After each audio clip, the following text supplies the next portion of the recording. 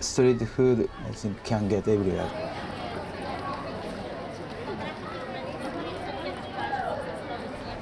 For example, tempura and fish and chips share ingredients and the way of cooking.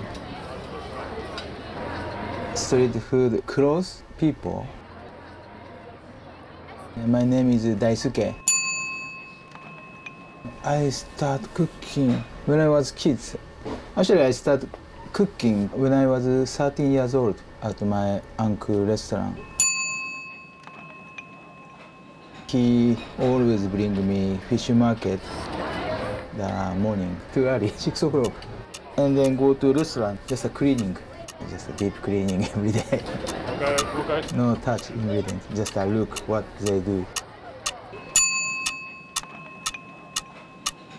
I think past two years to chopping or something at all.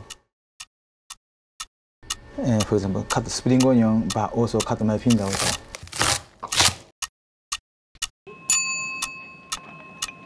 How did I improve? I just uh, keep doing, I think, every day.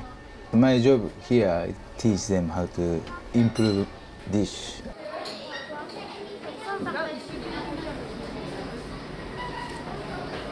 Yeah, I try to teach them how to cut vegetables, how to make street food, like uh, ramen, yakitori, and uh, donburi.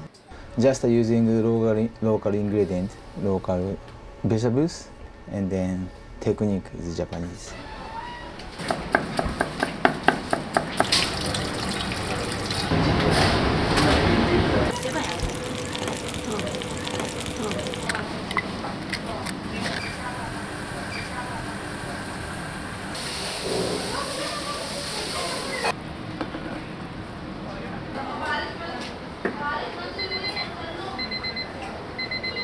Even same uh, dish little bit different uh, change.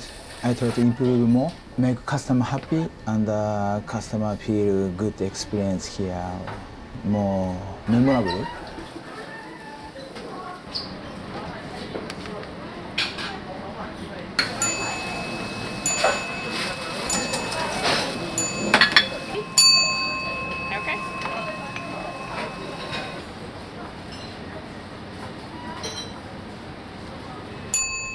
いつもおじさんに言われていたことは、えーいい食材からいいものを作るというのは、えー普通のことでたとえあまり良くない食材であってもその食材のいいところを引き出していい料理を作るのが、えーいい料理人だといつも教えられてました。